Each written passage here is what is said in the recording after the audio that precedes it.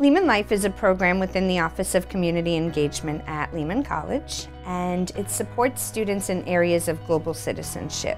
We focus on giving underrepresented students the opportunity to do things nationally and abroad that they never thought possible. Having the opportunity to go out and serve a community is amazing because we're not actually helping them, we're just being there, you know, supporting them basically. Working with other communities other than my own what didn't occur to me before I joined this program. I think that's the importance of Lehman Life. It's not that you're going to a community and just throwing money at them. You're learning about the community before you go, so it's important to pay attention to what you're learning and you're taking what you're learning and you're providing service abroad.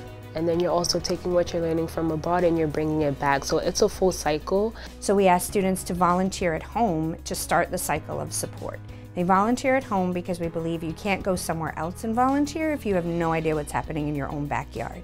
Once they complete those 25 hours of service at home, they take that experience, information, and they travel to a different community, whether it be across the US or across the world. They volunteer in a specific community and partner with grassroots leaders. They're not going to help anyone, they're going to serve.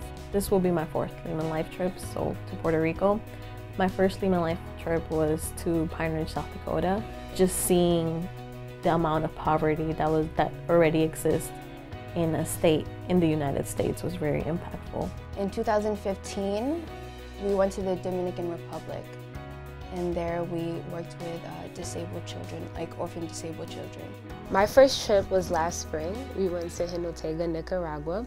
We worked with Global Medical Brigade. Um, I remember there was a girl named Maria. She went to the school next door, and I didn't speak any Spanish, but every day she would run after school, and she would come play with us, because we did a, like a charla, a dental charla for the kids, where we teach them how to brush their teeth properly, and she loved it. And towards like the end of our stay, at that specific clinic. She even helped us teach the song to the kids. It was just beautiful. They're all sweet. It was beautiful. Tanzania is a beautiful country. Africa is beautiful. Um, I was there for two weeks. Um, that was my first time ever actually feeling homesick. It was like on the second, can I go home? Um, but I love the culture. I love the people. So friendly. Uh, what I learned there was, you know, one second they'll be fighting over, you know, like a baseball. And then the next second, like when it came to the things you needed, when it came to like food, water, they shared it. One of the first trips I've gone to is Nicaragua.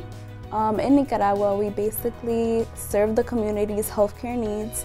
We got to take blood pressure, take their height, their weight, things like that, and kind of do a triage. So you're looking at a group of underserved college students who are focusing on their classes, who don't necessarily have access to a lot of funding, and we're asking them to fundraise 100% of their trip. Fundraising is hard. It's not always easy to just go up to anyone.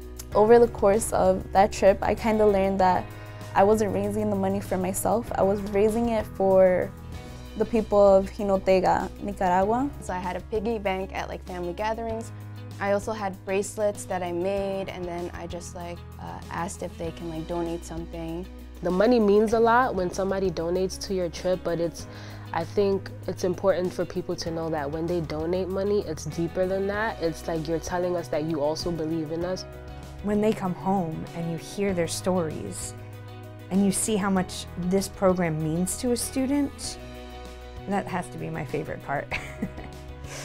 After that trip to Honduras, that's when I started really researching the possibilities of going to Peace Corps and applying to Peace Corps, what I should do um, so that I can get accepted. You come back because you fall in love with what you're doing or you fall in love with just serving in reality. The amount of dedication that you put into Lehman Life is what makes you a Lehman Lifer forever.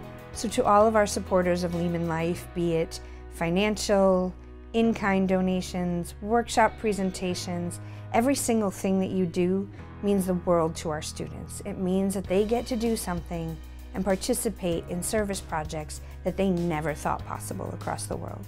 So from the bottom of our hearts, thank you, thank you, thank you.